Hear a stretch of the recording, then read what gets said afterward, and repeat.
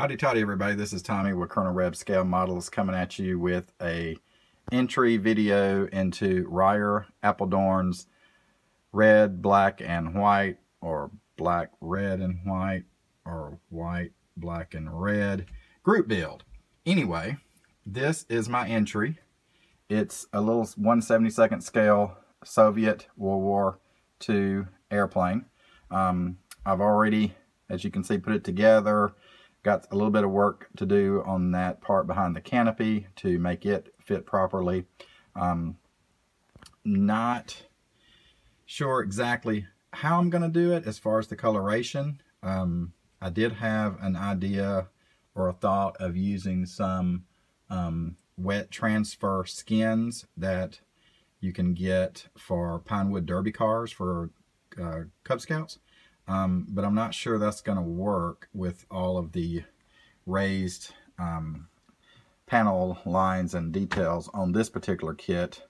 Um, so I might go with something different. So I'll you'll see that at the final reveal. Um, so the deadline I think is on the 17th.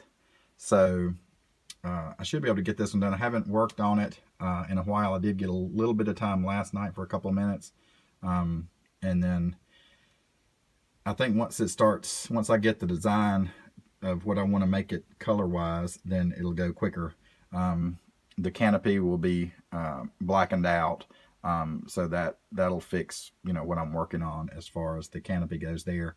Um, but it should look pretty cool. I'm hoping it. I'm hoping it turns out the way I envision it, whichever idea I go with. Um, so anyway, I so hope everybody can jump in if they haven't already um, to um, help Ryan with this. Uh, Ryer with this group build um, because he is going to use it as a as a project um, that he has uh, working on with uh, some I think an internet blog or some type of uh, uh internet page. Uh, anyway, so that's what I'm doing.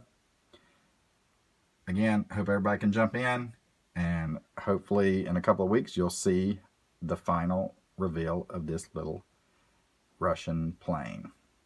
As always, God bless, and, of course, hotty toddy.